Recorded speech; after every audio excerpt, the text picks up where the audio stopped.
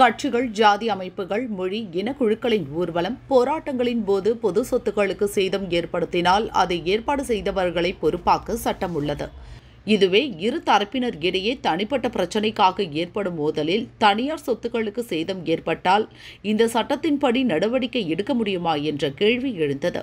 பல வழக்குகளில் நீதிபதிகள் மாறுபட்ட தீர்ப்புகள் வழங்கி வந்தனர். இதற்கு தீர்வு காணும் வகையில் ஹைகோர்ட் மதுரை கிளையின் உத்தரவு அமைந்துள்ளது. இது தொடர்பான வழக்கு ஒன்றை விசாரித்த நீதிபதிகள் சுப்பிரமணியன் விக்டோரியா கௌரி அமர்வு உத்தரவில் கூறியதாவது சொத்துக்களுக்கு இழப்பு ஏற்படுத்துவோர் மீது உரிய நடவடிக்கை எடுக்க வேண்டும் என்பதுதான் அரசின் நோக்கம். அந்த வகையில் தனிப்பட்ட இரு தரப்பினர் இரு நபர்கள் இடையே ஏற்படும் மோதலில் தனியார் சொத்துக்களுக்கு சேதம் இழப்பு ஏற்படுத்தினாலும் தமிழக அரசு சட்டப்படி விசாரிக்க முடியும்.